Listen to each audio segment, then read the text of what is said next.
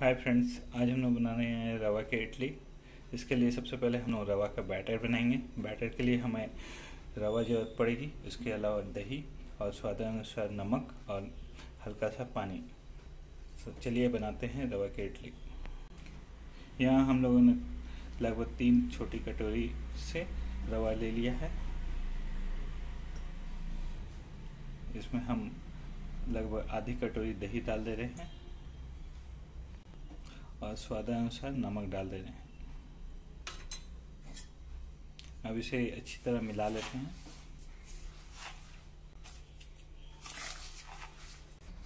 इसे अच्छी तरह मिला लेते हैं। ये देखिए, ये अच्छी तरह मिलती जा रही है। अब इसमें थोड़ा पानी देते रहिए हल्के हल्के इसे अच्छी तरह मिला लीजिए। ये रवा पानी काफ़ी सोखती है तो इसे हम लगभग आधे घंटे या एक घंटे के लिए रखने वाले हैं अभी।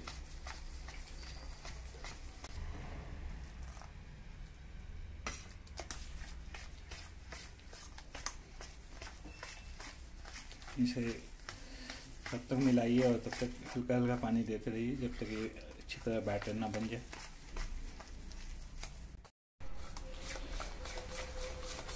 इसे अच्छी तरह मिलाइए ध्यान रखिए अधिक ज़्यादा थिक और मतलब फिर ना रहे अच्छी तरह मिलाने के बाद इसे हम आधे से एक घंटे के लिए ढक कर रख देंगे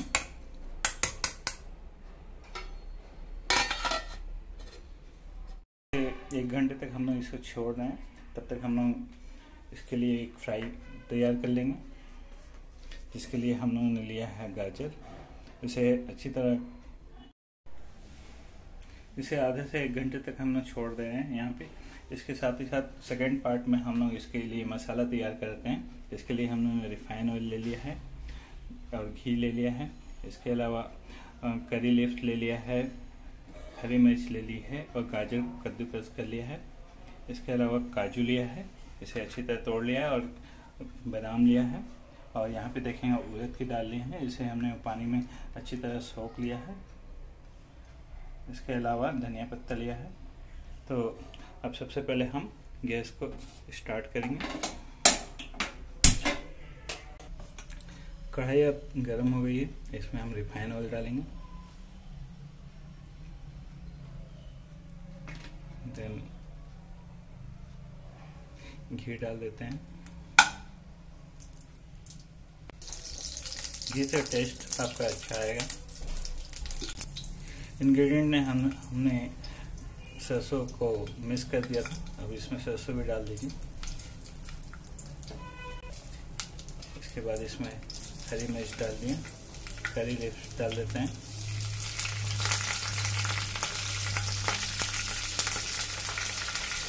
बादाम डाल देते हैं। काजू डाल देते हैं।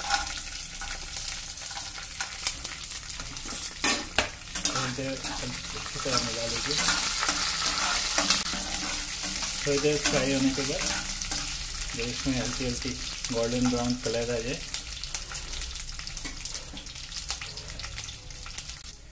अब इसमें उड़द की दाल डाल देंगे।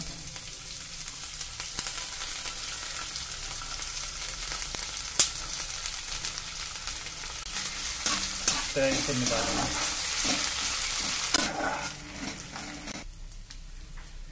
ये हल्की सी गोल्डन ब्राउन आपको लग रही होगी ये हो गई है। ये हमारा बैटर भी लगभग आधा घंटे से अधिक हम लोगों ने इसे रख दिया था। अब इसमें हम फ्राई की हुई ये सारी चीज़ें डालेंगे।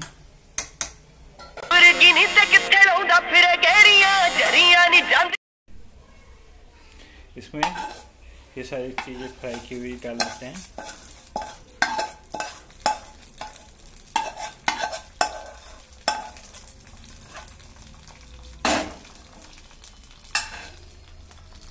साथ ही साथ हम इसमें कद्दूकस की हुई गाजर और धनिया पत्ता भी डाल देंगे।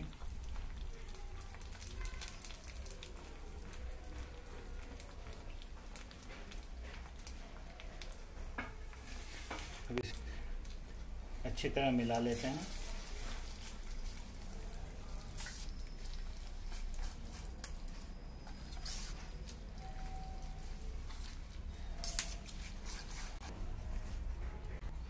ये हमारा बैटर ऑलमोस्ट तैयार है। अब हम पानी को थोड़ा हल्का गर्म कर लेंगे। ये हमारी कैटरी है, जिसमें हम लोग इडली ये करेंगे। अब इसमें इडली के बाद में हम इस यहाँ पे थोड़ा सा रिफाइंड तेल लगा लेंगे, ताकि ये चिपका नहीं।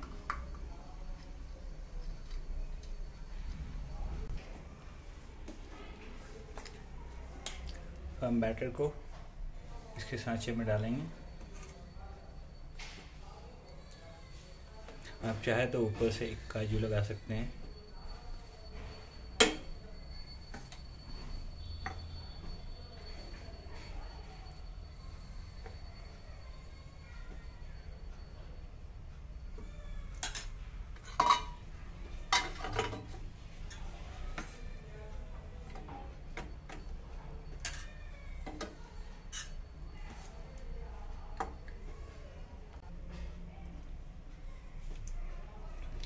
अब इसे हम ऑलमोस्ट दस से पंद्रह मिनट तक ढक कर रख देंगे ये ऑलमोस्ट हमारा बनकर तैयार हो गया है। हम इसे ओपन करके इसे निकाल लेंगे।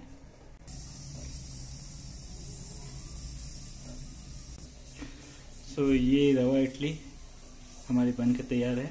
इसे आप अपने अपने फैमिली के साथ मिलकर बैठ के सर्व मतलब सर्व करके खाइए और हमें बताइए कैसा लगा आपको। Thanks for watching